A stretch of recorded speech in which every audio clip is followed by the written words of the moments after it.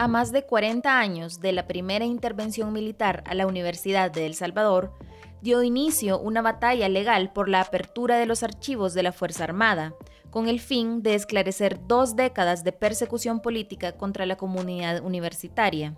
que iniciaron ese 19 de julio de 1972, cuando el ejército irrumpió en las instalaciones de la UES. En el 2016, la Universidad Nacional se convirtió en la primera institución estatal en luchar por el acceso libre a los archivos militares mediante la Ley de Acceso a la Información Pública. La necesidad de conocer la documentación sobre la universidad existente en los archivos de la Fuerza Armada parte de la hipótesis de que en los años 70, durante los mandatos de los presidentes militares Fidel Sánchez Hernández, Arturo Armando Molina y Carlos Humberto Romero, se consideró a la UES como parte de los adversarios del Estado y se le convirtió en un objetivo militar. El nuevo gobierno, que inicia en junio de 1972, da un viraje, abandona la apertura, son claras señales,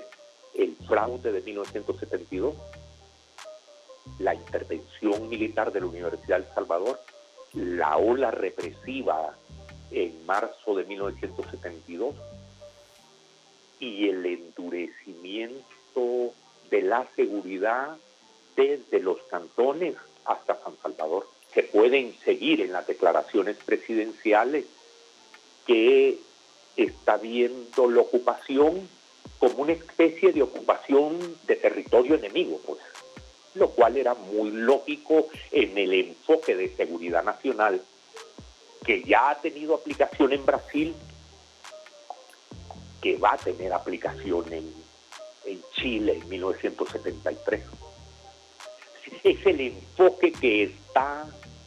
creciendo y volviéndose dominante en los ejércitos latinoamericanos. Esto se deja entrever en un documento desclasificado de la Agencia Central de Inteligencia de los Estados Unidos, CIA por sus siglas en inglés,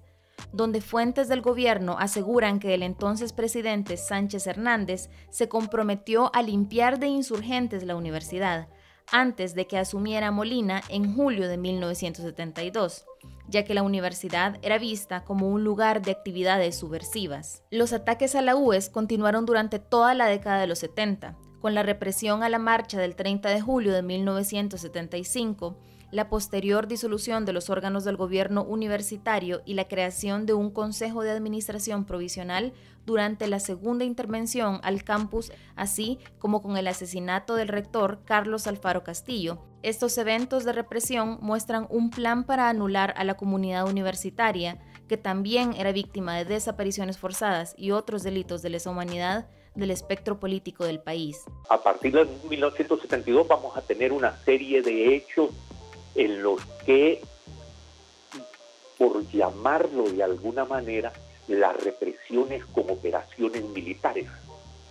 de pequeña escala a gran escala, digamos. La de julio de 1975 se puede considerar tal vez entre pequeña y mediana escala urbana, una represión contra una marcha universitaria. Hay diseño de operación militar para atacar a población civil opositora. La UES intenta probar que existía un plan coordinado que hizo de la universidad un objetivo militar antes del inicio mismo del conflicto armado interno. Es por ello que requirió el acceso a los archivos militares en búsqueda de elementos para reconstruir la historia de la universidad en ese periodo y de pruebas que sirvan para futuros casos judiciales. Aunque instituciones nacionales como la Sala de lo Constitucional e internacionales como la Relatoría de Libertad de Expresión de la Comisión Interamericana de Derechos Humanos y la Oficina del Alto Comisionado de las Naciones Unidas para los Derechos Humanos han instado en repetidas veces a la apertura de archivos militares, los últimos tres gobiernos negaron la existencia de estos documentos e incluso bloquearon un intento de acceso llevando el caso a la Cámara de lo Contencioso Administrativo de la Corte Suprema de Justicia el 6 de marzo pasado, en el último intento de corroborar la existencia o no de esta documentación, ni los mismos comisionados del Instituto de Acceso a la Información Pública pudieron ingresar a las instalaciones del Ministerio de Defensa para verificarlo. refusal, I, I, I, use that word, of the armed forces to open their um, archives and records as they have been um, um, requested to do by several judges and prosecutors and so on. Um, I, I just want to highlight the fact that the obligation to do so of the state, but your obligation in relation to access to information is not only to certain category of persons, it's to everyone.